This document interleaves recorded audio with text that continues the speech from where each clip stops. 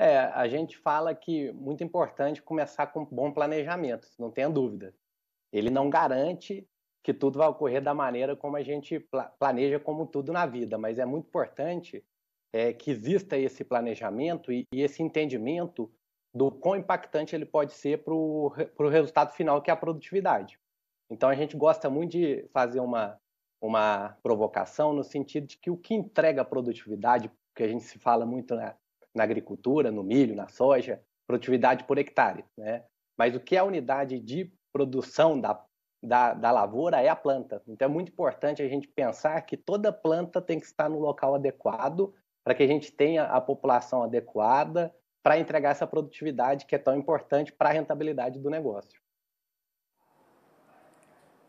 Flávio, e a otimização para utilizar insumos, reduzir custos e aumentar a produtividade são fatores cada vez mais importantes para a sobrevivência dos produtores. É por isso que um planejamento detalhado do plantio se torna tão necessário? Sem dúvida. Hoje nós podemos observar um, uma oportunidade enorme, né? Nós estamos diante de preços muito atrativos né, vamos dizer aí, se aproximando da segunda safra de milho, os preços da commodity estão extremamente atrativos. Então, essa otimização, que é o que? Utilizar de forma adequada aquele recurso que já vai ser empregado na atividade. E, para isso, a gente tem oportunidade nessa safra de ter rentabilidades talvez históricas. Para que isso se concretize, a produtividade com esses recursos é fundamental. E o que, que a gente fala com esses recursos? A mão de obra já está contratada, já o agricultor ele já tem aquele é, a equipe dele para realizar a operação, o maquinário já está lá, os insumos ele também já, já adquiriu. Então o que a gente fala é trabalhar isso tudo de forma muito bem coordenada no sentido de buscar uma alta produtividade. É claro que também tem fatores dos quais a gente não tem influência, seria o caso do clima, que é muito importante na nossa atividade. Entretanto, dentre aqueles fatores que nós temos total influência, que é administrar essa equipe para executar uma boa operação, que entregue uma, uma lavoura bem estabelecida, isso é fundamental no sentido de ter uma expectativa de uma alta produtividade e essa rentabilidade que nós falamos, que nesse momento é para ser uma rentabilidade histórica. Entretanto, em momentos de, de, de preço de commodity abaixo, pode ser sim significar para a sobrevivência da atividade. Então a gestão mostra que plantar é muito mais do que apenas colocar a sementinha lá na terra, né? Você acha que uma, uma propriedade que se preocupa com a gestão no plantio sabe que vai ter o resultado é, de mais sacas por hectare? Sem dúvidas. É. A gente, outra analogia que a gente gosta de fazer para ilustrar um pouco essa situação, né? O quão importante é ter uma, uma gestão, porque isso passa por análise. Então a gente, vamos dizer, é, um produtor de leite pequeno, se ele tem 10 vacas e cada vaca produz 20 litros, ele tem 200 litros de leite todo dia. Se amanhã faltar uma vaca, ele vai ver que abaixou 20 litros, vai ter 180 litros. Ele vai ver que está faltando um indivíduo que é responsável pela produção daquela quantidade. Quando a gente está falando de lavoura aqui de, de, soja, ou nesse caso agora vamos falar de milho, é, no, em milho nós vamos ter 60 mil plantas num hectare. É, é, um, é um número bem alto. Se você não fizer uma análise bem criteriosa, você não vai reparar que perdeu 6 mil plantas, que seria esse mesmo 10%, né? E 6 mil plantas significa é, quase que invariavelmente perder 10% da, do potencial produtivo. Então, é, não tenha dúvida que é, é essa gestão, para assegurar que você tenha a menor perda possível e que, que essa gestão faça análise de, numérica, porque é o que a gente fala, a gente até divide a gestão do plantio em quatro passos, né? A gente olha para a equipe, que é importante ter uma equipe bem preparada e também operando em segurança, que é algo muito importante no campo. Nós temos a máquina, no caso a plantadeira, então certificar esse equipamento para que ele esteja apta a realizar uma operação de qualidade é outro passo fundamental. Com tudo isso estando preparado, começa a ocorrer a operação. E a operação ela varia a cada dia em função de umidade do solo, em função do tipo do talhão, tipo de solo, e é importante que a equipe faça as adequações necessárias para que a operação ocorra da melhor maneira em cada uma dessas situações. E por fim, é o que a gente chama o quarto passo, é análise, que é analisar como que essa lavoura ficou estabelecida, porque sem esse número, sem essa a gente conseguir fazer esse levantamento, a gente deixa de ter um indicador muito importante. Que é importante a gente olhar esse indicador, ver quão próximo do ideal a gente conseguiu chegar. E, em cima disso, começar já o planejamento para os próximos ciclos. Flávio, a consultoria também é indicada aquele produtor que, mesmo seguindo esse passo a passo, acaba encontrando algo de errado no campo? O treinamento dos profissionais também faz parte da gestão? Sem dúvida. A, a, o treinamento dos profissionais é um passo extremamente importante, afinal de contas, tudo passa pelas mãos desses profissionais. Né? Então, é, e, e, quando a gente fala em treinamento, em aprendizagem, isso seja em qualquer setor, não só dentro do agro, como qualquer outro, é um conceito de aprendizagem contínua, desenvolvimento contínuo, até porque é, a todo momento, todos os anos, nós estamos recebendo uma série de novas tecnologias, novos produtos, novas situações. Então, é muito importante, além de conseguir ano a ano elevar o nível de conhecimento dessa equipe para que ela possa realizar cada vez, desempenhar sua função de melhor qualidade. Além disso, nós estamos sempre tendo que prepará-las para absorver uma nova tecnologia, uma nova máquina, uma nova forma de produzir. Então, realmente, é, a gente entende essa transferência desse conhecimento como um processo contínuo que só vem a beneficiar o, a, a gestão de um todo, que é de interesse direto do empresário rural. Você falou em maquinários. Como é o trabalho da certificação de plantadeiras? Eu gostaria de saber se a falta da regulagem ela pode levar o produtor a ter mais prejuízos na semeadura, por exemplo?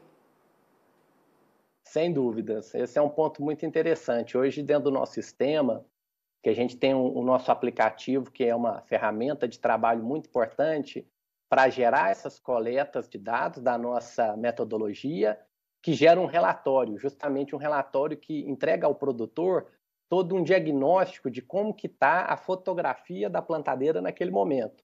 E aí a gente é preciso fazer qualquer correção necessária. Uma vez feito isso, dentro da, de, desse nosso sistema que eu falei, nós temos mais de 1.500 máquinas já registradas, onde profissionais da geração agro e profissionais que a geração agro habilitou a aplicar essa metodologia realizaram, e a gente vê um, um, um impacto muito significativo. Né? Para o milho, que é a próxima lavoura a ser plantada aí na maior parte do país, a gente vê impacto só com relação a essas inconformidades da ordem de, no mínimo, sete sacos por hectare, né? numa análise bem conservadora. Quando a gente analisa não só a máquina, extrapola para a operação, toda a gestão do plantio como um todo, a gente eh, consegue afirmar que 15, 20 sacos são muito plausíveis a gente conseguir elevar em grande parte das situações. Isso tudo com esse conjunto de ações. Só para finalizar, com relação à certificação de plantadeiras, para ter uma ideia do quão detalhado é o método que a gente aplica, a gente avalia 31 itens por carrinho da plantadeira. Então, realmente é um método muito é, criterioso, que a gente gosta de olhar detalhes que podem parecer é, quando olhado isoladamente, não importantes, mas quando a gente olha num conjunto, pode trazer impactos significativos. Também é importante a gente destacar, Flávio, que cada vez mais inovações tecnológicas vão surgindo e a propriedade deve estar preparada para garantir produtividade e lucratividade também. Como é a relação de vocês com os produtores rurais para promover essa integração? Joia. Não tenha dúvida. A gente, quando iniciamos a empresa, a grande visão foi porque a gente começou a identificar que existia ainda muito espaço de melhoria em fazer o básico bem feito, fazer com capricho, feijão com arroz. Né? E a gente entende que esse é o primeiro passo para estar apto a absorver tantas boas e novas tecnologias que surgem a todo momento, porque são tecnologias que vêm a incrementar, a trazer novas ferramentas que propiciem buscar cada vez mais as produtividades maiores e, e consequentemente, aumentar a rentabilidade. Então, a, a nossa relação com, com, os produtores que a gente atende, ela é muito nesse sentido de hierarquizar, priorizar quais os passos que a gente tem que evoluir no sentido de ir adequando e de ir absorvendo cada vez mais tecnologias. E agora, uma, uma estratégia que a gente atendeu no intuito de poder levar a metodologia cada vez a ter mais capilaridade foi utilizar o, o, os métodos de educação digital. Né? Então, nós estaremos lançando aí nessa semana um curso digital de gestão do plantio, é, onde a gente, inclusive, o título dele é Valorizando Cada Planta, que esse é o, o intuito nosso, que a gestão do plantio seja no sentido de valorizar cada planta, e assim a gente possa é, levar, disseminar esse conhecimento, essa metodologia, é, cada vez para maior número de produtores, independente do módulo rural, e também para todos os profissionais do agro, né, para os profissionais que atendem o produtor. A gente entende que é muito importante também é, munir esses profissionais de cada vez mais conhecimento, tecnologia, para que eles possam também contribuir para os clientes deles que eles atendem, que no caso é o agricultor. Como você falou, né, são muitos passos a serem cumpridos na hora de fazer essa regulagem da plantadeira, no caso aqui do nosso assunto. Qual é essa importância desse equipamento no sucesso da safra? Você citou que tão, são vários é, itens que têm que ser checados, né? Se deixar de ver algum, pode dar prejuízo, um prejuízo lá na frente? Exato, exatamente. A gente pode, é, por exemplo, citar, é, a gente divide em dois grandes grupos a, a máquina plantadeira, né? O sistema responsável pela distribuição de fertilizante e o sistema responsável pela distribuição de semente. Então, sim, a gente é muito comum ver entre as linhas uma variação entre um fertilizante para mais ou para menos. Se é para mais, é um, é um prejuízo de gasto a mais de fertilizante que não estava planejado em função da produtividade esperada. É, em contrapartida, quando é, quanto é menos, você está fornecendo menos nutrição, menos alimento para que aquela planta, e no caso uma linha inteira, dependendo do número de, de linhas que a gente identifica, às vezes é 20%, 30% das linhas, estará recebendo, por exemplo, 10%, 20% a menos de nutriente. Então, consequentemente, ela vai ter um impacto de decréscimo nessa produtividade. Quando a gente fala em distribuição de sementes, muitas vezes é, tem o, o, dosador está com algum problema onde você vai ter falhas na planta, e entra naquela questão se essa falha vai ser 10%, 15% da população, isso é muito significativo. E quando você junta esses fatores, você começa a ter os decréscimos que a gente falou, muitas vezes extrapolando é, 15, 20 sacos só, só a máquina. Então, e é um ponto que basta a gente fazer uma, uma avaliação planejada de forma anterior ao início dos plantios para poder adequar. Né? Não, não, não, não existe gastos é, adicionais, muitos deles são apenas ajustes mecânicos da própria máquina. Né? Então, avaliar para poder promover essa adequação e, e assegurar que a, que a plantadeira esteja apta para o plantio de qualidade, é claro que aí depois é o que a gente falou também. Existe toda a operação, existe toda uma equipe para operar isso de maneira adequada mas ela está adequada como se fosse um, um, carro de corrida, né? Você quer que ele, você pode ter um excelente piloto, mas se o carro não estiver bem preparado, ele pode não desempenhar da maneira que se esperava. Então é muito importante você deixar a máquina da, da forma adequada para poder operar uma operação que é de extrema importância e que ela determina o seu potencial. Né? A gente fala, uma vez errado o plantio, a gente não tem chance de, de consertar. Né? Porque se tiver que fazer um replantio, aí é pior, porque você dobra seu gasto de plantio, você já perdeu uma janela de plantio importante, então realmente a gente tem que se preparar muito, porque é uma operação que ela não, não dá chance para o nosso erro. Flávio Marques, quero agradecer a sua participação aqui no nosso programa e aproveitar para deixar os seus contatos, informações para o nosso telespectador que tem interesse em contratar esses serviços. Muito obrigado. Eu que agradeço a oportunidade de estar aqui falando um pouco desse tema que a gente considera tão importante que é a gestão do plantio.